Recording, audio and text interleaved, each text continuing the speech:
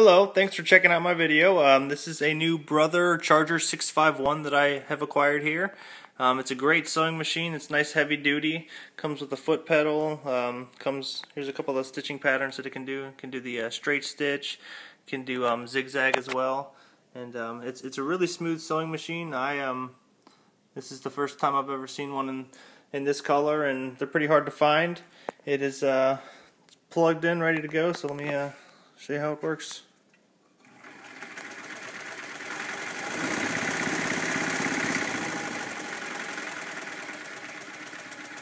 So it's, it's got a really nice um, speed control. You can go slow if you need to. You can go fast if you need to.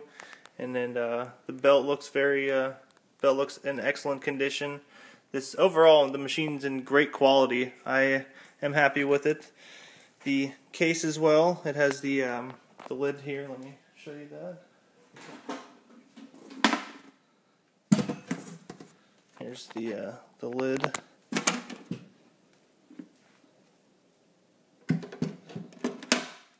So when it's all said and done, it looks like that.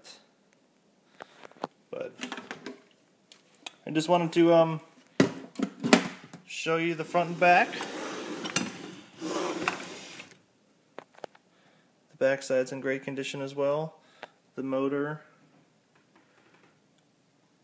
the paint, there's no chips or corrosion, the foot as well, it's in wonderful condition.